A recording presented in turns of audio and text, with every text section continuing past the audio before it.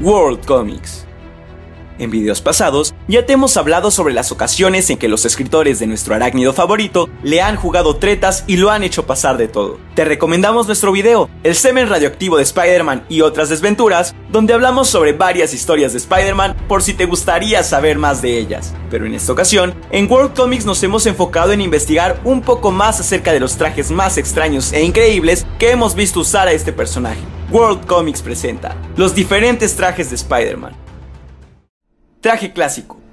Su vestuario es azul y rojo, con rayas negras simulando telarañas alrededor de todo el traje, una araña negra en el centro del pecho y una araña roja en la espalda. La máscara tiene dos grandes ojos blancos con el borde negro, que le permite ver pero le oculta sus ojos. Un traje bastante auténtico y que se ha modificado poco a lo largo de los años, ya que realmente le da la agilidad y movimiento que el hombre arácnido necesita. Pero por si este traje no te parecía bastante original, bueno, también tenía una capa que lucía como una telaraña que colgaba de su espalda.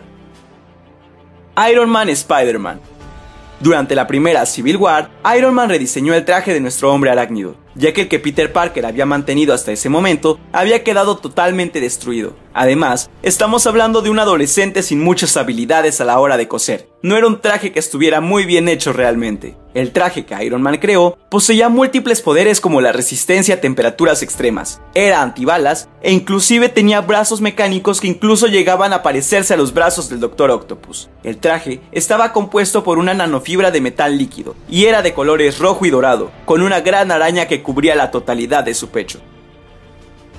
Spider-Man 1602 Marvel 1602 es una serie limitada de cómics publicados en 2003. El arco argumental se lleva a cabo en la época isabelina, donde los superhéroes se enfrentan contra una fuerza misteriosa que parece querer destruir el mundo. Muchos personajes de Marvel como Nick Fury, los X-Men, los Cuatro Fantásticos y Spider-Man aparecen. Y sí, por supuesto, no nos íbamos a quedar con un Spider-Man usando un traje del siglo XX cuando la historia se desarrolla en los años 1600. Un traje bastante original y que a más de uno lo hizo querer viajar a esa época.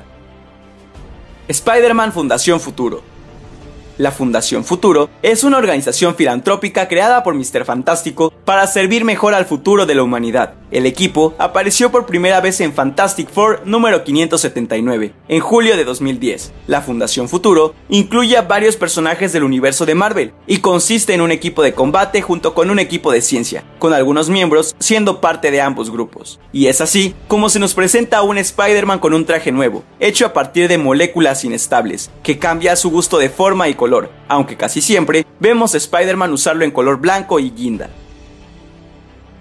Spider-Man Tierra X Tristemente los años no pasan en balde, y pues han hecho estragos en nuestro héroe arácnido. Y eso es justamente lo que se nos muestra en Tierra X, donde tenemos a un Spider-Man gordo y viejo. Es un Spider-Man adulto que tiene una hija con Mary Jane, con quien estuvo casado, hasta que llegaron las nieblas terrígenas que transformaron a todo el mundo en superhéroe. En este arco es el mismo donde encontramos a Mary Jane muriendo de cáncer debido al semen radioactivo de Spider-Man. Spider-Man Dormammu en este arco, Dormammu logra cambiar la realidad del planeta y así se convierte en el gobernante supremo de toda la Tierra. Así que teniendo poder completo, este personaje no siente culpas cuando reescribe el origen de los habitantes de la Tierra y a algunos los transforma en una clase de monstruos. Los humanos normales no son los únicos afectados, también los superhéroes son alterados y todos son convertidos en versiones malvadas de ellos mismos. Este Spider-Man tiene seis brazos y realmente luce como alguna clase de monstruo de Silent Hill. Por suerte, toda la Tierra, incluyendo a los superhéroes y Spider-Man, se restablecen a su orden natural una vez que Dormammu es vencido. En este video no pudimos incluir todos los asombrosos trajes y versiones de este superhéroe. ¿Te gustaría que hiciéramos una segunda parte de este video o que habláramos sobre algún personaje o cómic en específico? Dínoslo en los comentarios. Dedicamos este video a Haro Darksword, Esteban Higuera, Nali Johansson, Alberto Talavera, Mr. LG y a Silkie 1244 por haber comentado el video Los sexys trajes de las superheroínas en el cine. Yo soy Ángel Gómez y esto fue todo por este video. Adiós.